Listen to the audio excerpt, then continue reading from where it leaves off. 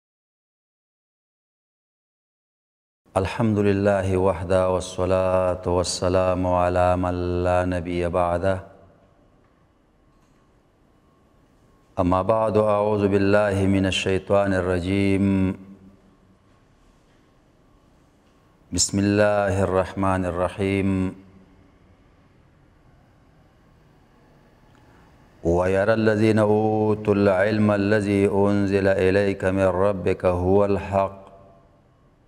ويهدي الى صراط العزيز الحميد زما عزت مندو مسلمانانو خوين دورونو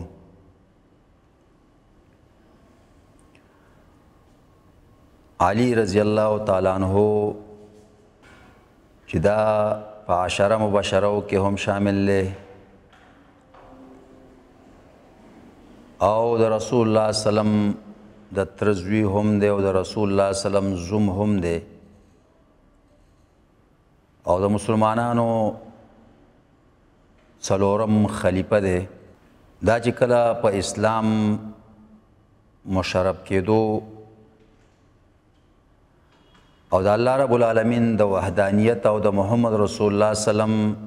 د رسالت اقرار کو نو په دغه وخت کې د علی رضی الله تعالی عنہ عمر څومره نو په دې کې مختلف روایتونه را نقل شوي دي یو روایت هغه د ابي الاسود محمد ابن عبد الرحمن هغه وی چې علي رضی الله تعالی عنہ او زبیر رضی الله تعالی عنہ اسلم وهما ابن سمان سنین علی ابن ابی طالب او زبیر رضی الله تعالی عنہما دوی چې کله اسلام راوړو او د اسلام په دایره کې داخل شول نو د دوی عمرونه اته اته کاله وو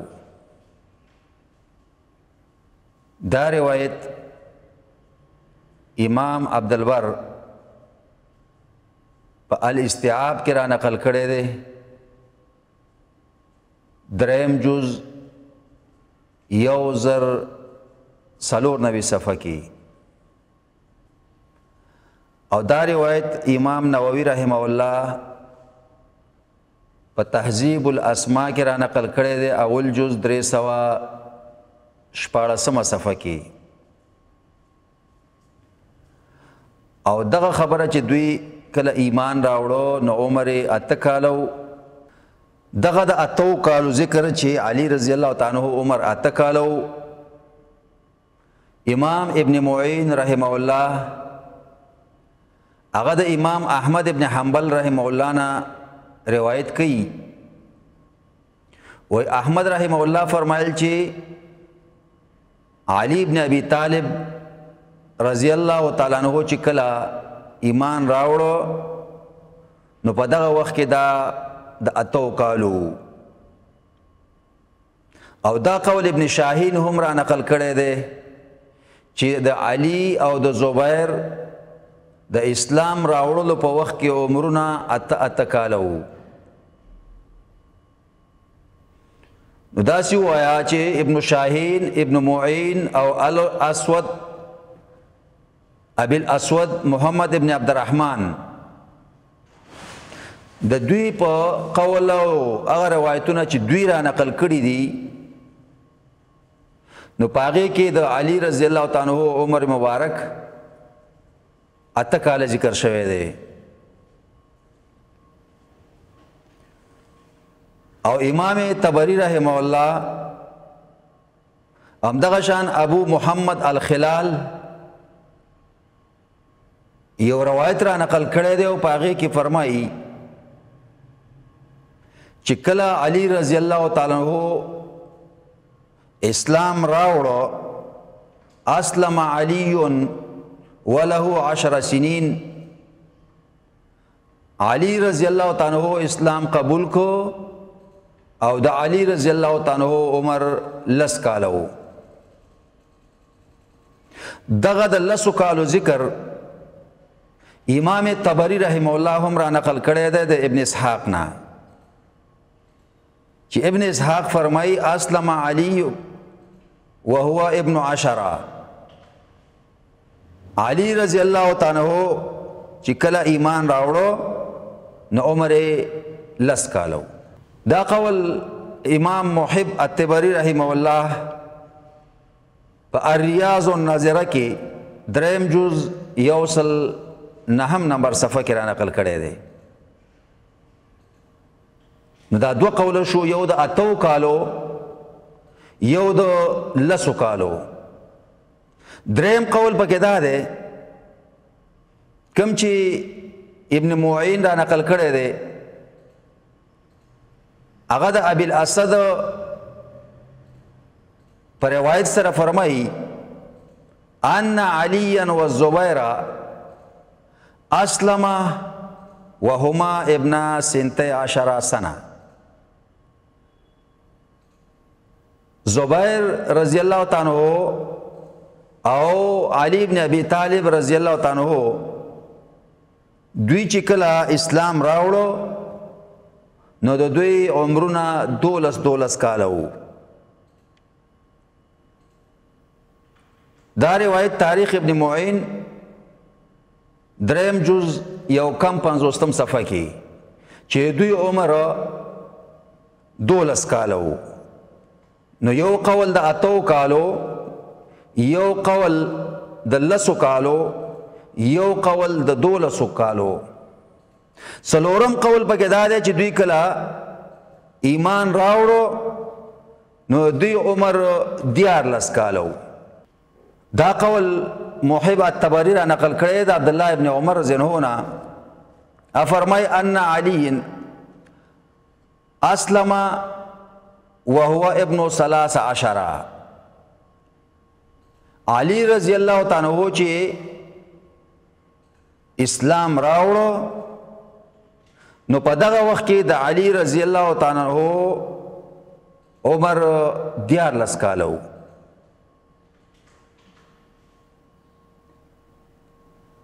بل قول پکې د 15 کالو دی هغه دا و چې کله علی رضی الله تعالی عنہ اسلام راوړو نو عمر 15 کالو دا قول امام نووي رحمه الله را نقل کړی دی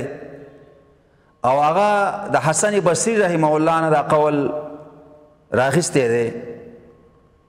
کم چې تهذیب الاسماء د امام نووي رحمه الله کتاب دی اول جز 314 صفحه کې چې د علي رضی الله تعالی عنہ عمر د اسلام راوړلو په وخت کې هغه پنځلس کاله و نو دیو جنا د تاریخ کتابونه چې تاسو څومره مطالعه کوئ نو د علی رضی الله تعالی عنہ په باره کې با دا قول بار بار مخه تراجی چې علی رضی الله تعالی عنہ د ځوانانو په ډله کې اولنې شخصیت دی چې په محمد رسول الله سلام باندې ایمان راوړی دی امام حاکم رحم الله یو روایت نقل کړی دی ا فرمایي چې علی رضی الله تعالی په خپل بداسي چې کله ملګرو سره ناستو نو فرمایل به عبدت الله مع رسول الله صلی الله علیه وسلم سبع سنین ما د الله بندگی کړې ده د محمد رسول الله سلام په معیت کې وکاله په داسې حال کې چې په دې امت کې یو تنم د الله د بندګۍ کولو والا لا جوړ شوی نه وو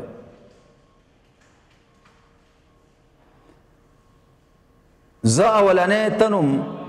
چې ما د الله رب العالمین بندگی شروع کړې و په دې امت کې الله به نور مؤمنان او مسلمانان پیدا کړل هغه هم بندگی شروع کړه خو زمانه رستو دا روایت امام احمد رحم الله په مستدرک کې را نقل کړی دی دریم جز یوصل یوشتمه صفحه کې نو په علی رضی الله تعالی عنہ کې الله رب العالمین خسته خسته کمالات یې خو وجدا و چې د تربیت او پرورش دا د محمد رسول الله سلام په کور کې شوی نو هغه دیانتداری فقاهت سل رحمی او الله رب العالمین ته ورمنډه کول د عبادت په شکل کې دا والله الله په ځل کې اچولیو یو ورځ عبد الله ابن عباس رضی الله تعالی عنہ خپل ملګرو ته فرمایل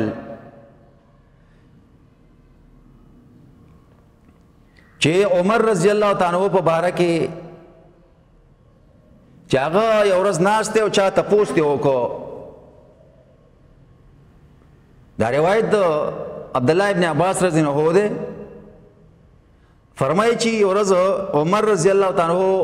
نه چا تپوس وکړو د علی ابن ابي طالب په باره کې نو عمر بن الخطاب رضی الله تعالی عنہ تو فرمایل کفو عن ذکر علی ابن ابي طالب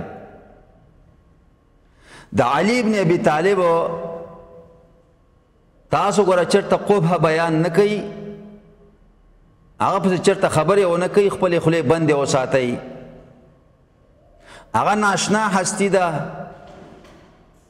ناشنا انسان دی ما وې د رسول الله صلی الله علیه وسلم نه اوریدلې یقول فی علی ثلاث خصال په علی رضی الله تعالی عنہ کې پنځه صفاتونه مو درې صفاتونه موجود دي ډېر خولي خولي صفاتونه قابل ستایش صفاتونه لأن يكون لي واحدة منها منهن أحب إلي مما طلعت عليه الشمس که په دغه صفاتونو کې یو صفت هم الله رب العالمین په ما کې را پیدا کی نو دا به ما ته د هغه ټول شیانو نه چې نور پر راخیږي او زما په ملکیت کې ما ته به دغه یو صفت ډیر محبوب وي په نسبت سره دومره ملک ته او دومره جیدات ته دومره دولت ته دغه دولت او جیداد دې ته وزن نه خوشالېږم بلکې دغه صفت ک الله په ما کې را پیدا کی زبا په خوشالم كنت انا وابو بکر وابو عبیده ابن الجراح ونفر من اصحاب رسول الله عمر زم فرمای زم ناستو ما ابو بکر صدیق هم ناستو ابو عبیده هم ناستو رضی الله تعالی عنهم اجمعین او سنور صحابه کرام هم په دغه ځای کې ناست دي د الله حبیب رحمت للعالمین محمد رسول الله سلام متکئون علی علی ابن ابي طالب دا الله حبيب علی ابن ابي طالب رضی الله تعالی عنہ ته داسې ډډه او تکیا والي وا او دا خپل لاس مبارک راوغسته او د علی رضی الله تعالی عنہ د اوګه مبارکه پیدا سي او ټپولا ثم قال داغه نه رسته د الله نبی محمد رسول الله صلی الله علیه وسلم فرمایل انت یا علی اول المؤمنین ایمانا واولهم اسلاما علی ته په دې مؤمنانو کې اولنې ایمان والای او په اسلام راوړونو کې اولنې اسلام والای ته ماته په درجه کې په نږدېوالي کې داسې لکه هارون چې موسی علیه صلوات و سلام ته څومره نږدې وو محبوب وو بل روایت کې راځي زید ابن ارقم فرمایي اول من اسلم علی اول اسلام ته غاړه کې خوستون کې انسان په نوجوانانو کې نو هغه علی رضی الله تعالی عنہ دی دا روایت امام ترمذی رحمه الله را نقل کړی دی په کتاب المناقب کې باب مناقب علی ابن ابي طالب او رقم الحديث د 3015 کې او دا روایت امام احمد رحمه الله په خپل مسند کې عمره نقل کړی دی رقم الحدیث ده یو زر اتل زر و سوا پنځنوي نو علی رضی الله تعالی اولنې تند چې غاړه کې خوستون کې ده د الله حکم ته او د الله د نبی حکم ته په داسې حال کې چې عمر کم ده خدا الله سره مینه ده او د الله د نبی سره مینه ده نو د اسلام په دایره کې د داخلي دو اعلان کوي د دې اپیسوډ وخت په ختمېدو دی باقی خبرې به ان شاء الله پر روان پروګرام کې کوو داغه پوری اجازه غواړو الله پامان